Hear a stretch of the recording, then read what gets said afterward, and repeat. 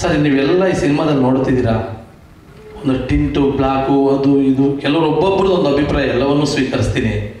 ನೀವು ನಂಬಲೇಬೇಕು, ಮೂರು ವರ್ಷಗಳು ಬರೀ ಡಸ್ಟನ್ನು ಉಸಿರಾಡಿದ್ವಿ ನಾವು. ಮೂರು ವರ್ಷಗಳಂದ್ರೆ ನಾವು ಸಿನಿಮಾ ಮಾಡಿದ್ದಕ್ಕೆ ಮೂರು ವರ್ಷಗಳಲ್ಲ. ಎರಡು ಕೊರೋನಾ ಬರುತ್ತೆ. ನಿರ್ಮಾಪಕನಾಗಿ ಹತಾಶನಾಗ್ಬಿಡ್ತೀನಿ. ತಟ್ಕೊಳ್ತೀನಿ ಎರಡು ಕೊರೋನಾ ಬರುತ್ತೆ ಸೆಟ್ ಹಾಕಿರ್ತೀನಿ, ಮಳೆ ಬಂದು ಬಿದ್ದೋಗ್ತದೆ. ಆದರೂ ಡ್ರೀಮ್ನ ಬಿಡಲ್ಲ. ಉಪ್ಪಿ ಸರ್ ನಮ್ಮ ಶ್ರೀಕಾಂತ್ ಸರ್, ಅಂಥ ಟೈಮಲ್ಲಿ ಕೂಡ ನಾನು ಇದ್ದೀನಿ ಅಂತೇಳಿ ನನಗೆ ಎಲ್ಲ ರೀತಿ ಅನಿಸ್ತು ಅವ್ರು ಒಂದಲ್ಲ, ಅವರು ಎಲ್ಲ ರೀತಿ ಒಂಥರ ನಿರ್ಮಾಪಕ ಅಂದರೆ ತಪ್ಪಾಗಲ್ಲ ಅವ್ರು ನನಗೆ. ನನ್ನ ಬೆನ್ನೆಲುಬಾಗಿ ನಿಂತಿರ್ತಕ್ಕಂಥ ನಿರ್ಮಾಪಕ. ತಟ್ಕೊಳ್ಳೋದಿದೆಯಲ್ಲ ಸರ್, ದೊಡ್ಡ ಸೆಟ್ ಹಾಕಿ ಬಿದ್ದೋಗಿ ಮತ್ತೆ ಇನ್ನೊಂದ್ಸರಿ ಕೊರೋನಾ ಬರುತ್ತೆ. ಎಲ್ಲವನ್ನು ತಟ್ಕೊಂಡು ತಟ್ಕೊಂಡು ನೀವು ನಂಬಲ್ಲ ಸರ್. ನನಗೇನಾದರೂ ನೋವಾದರೆ ಡ್ರೈವರ್ನ ಇಳಿಸಿ.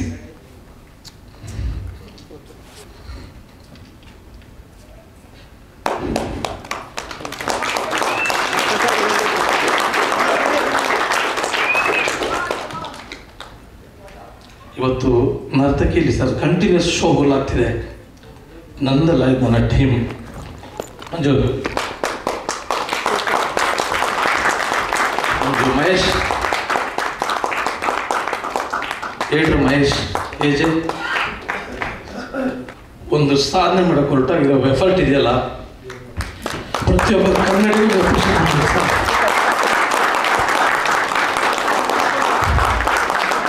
ಕಬ್ಜಾ ಇವರೆಲ್ಲರಿಗೂ ಸಹ ಮೊನ್ನೆ ನೈಟು ಸಿನಿಮಾ ಶನಿವಾರ ರಿಲೀಸ್, ಶುಕ್ರವಾರ ರಿಲೀಸ್ ಆಗುತ್ತೋ ಇಲ್ಲ ಅಂತ ನಮಗೆ ಅಷ್ಟು ಭಯ. ನಿರ್ಮಾಪಕನಾಗಿ ಎಲ್ಲ ಕಮಿಟ್ಮೆಂಟ್ ತೀರಿಸಬೇಕು. ಸರ್, ಒಂದು ಹೆಮ್ಮೆ ಇದೆ. ಸಾವಿರದ ಎಂಟು ಥಿಯೇಟ್ರಲ್ಲಿ ಹಿಂದಿಲಿ ನನ್ನ ಸಿನಿಮಾ ಬಿಡುಗಡೆ ಆಗಿದೆ, ಕಬ್ಜಾ ನಾನು. ಯಾರು ಸರ್ ಒಂದು ಹಳ್ಳಿಯಿಂದ ಬಂದಿರೋನು? ಸಾವಿರದ ಎಂಟುನೂರು ಥಿಯೇಟರ್.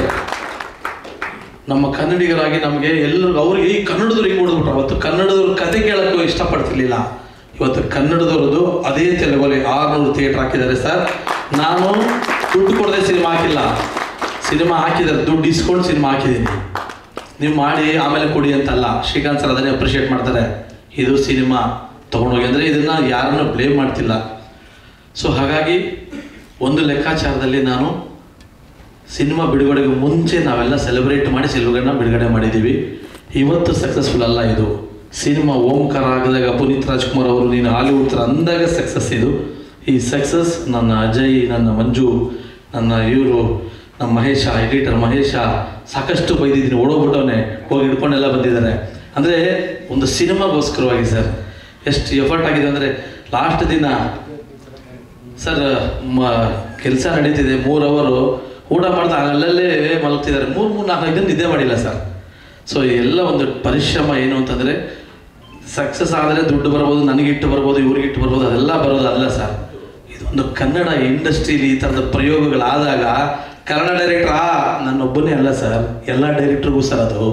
ಕನ್ನಡ ಡೈರೆಕ್ಟರ್ ಅನ್ನೋದು ಹೋಗ್ಲಾಡ್ಸಿದ್ದೀನಿ ಅದನ್ನು. ಬಿಡಿ ಸರ್ ನಾನು ಗೆದ್ದಿದ್ದೀನಿ. ನಾಳೆ ಮಾರ್ಟಿನ್ ಬರ್ತಿದೆ, ಇನ್ನೊಂದು ಬರ್ತಿದೆ, ಒಳ್ಳೊಳ್ಳೆ ಪ್ರಯತ್ನಗಳಾಗ್ತಿದ್ದಾವೆ ಇವು ಹೋಗ್ಬೇಕು ಸರ್ ಗ್ಲೋಬಲಿ ಆವಾಗ ಕನ್ನಡದ ಡೈರೆಕ್ಟರ್ಗಳ ಕನ್ನಡದ ಪ್ರೊಡ್ಯೂಸರ್ಗಳ ಅಂತ ಪ್ರತಿಯೊಬ್ಬರು ನೋಡೋಕ್ಕಾಗಬೇಕು ಸರ್. ಅದು ನನ್ನ ಆಸೆ ಯಾವಾಗಲೂ ನನಗೇನು ಸರ್ ದುಡ್ಡಿದೆ ಇನ್ವೆಸ್ಟ್ಮೆಂಟ್ ಮಾಡಿ, ಇನ್ನೊಂದು ಬಿಸ್ನೆಸ್ ಮಾಡಿ, ಇನ್ನೊಂದು ಮಾಡಿ, ಮತ್ತೊಂದು ಮಾಡೋಕ್ಕೆ ಬೇಜಾನ್ ದಾರಿಗಳಿದೆ.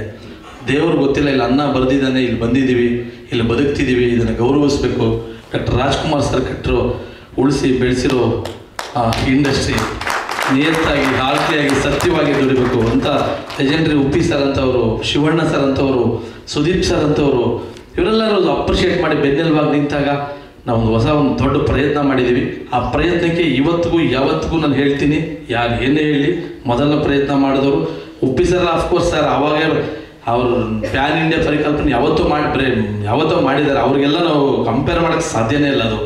ಅದಾದಮೇಲೆ ಇವತ್ತು ಈಗ, ಇವತ್ತಿನ ಟ್ರೆಂಡಲ್ಲಿ ಗ್ಲೋಬಲಿ ಸಾವಿರ ಕೋಟಿ ಆಯ್ತಂತೆ ಅಂತ ಕೇಳೋಕ್ಕಾದ್ರೂ ಒಂದು ಪ್ರಯತ್ನಗಳು ಮಾಡಿದಂಥ ಟೀಮ್ ಅದು. ಸೆಕೆಂಡ್ ನಾನು ಪ್ರಯತ್ನ ಮಾಡಿದ್ದೀನಿ. ನಾನು ಪ್ರಯತ್ನ ಮಾಡಿ ನನ್ನ ಹಣ ನಾನು ತಗೊಂಡಿದ್ದೀನಿ ಅಂದರೆ ಅದು ನನ್ನ ಗೆಲುವು ಸರ್. ನಾನು ಗೆದ್ದಿದ್ದೀನಿ ಸರ್.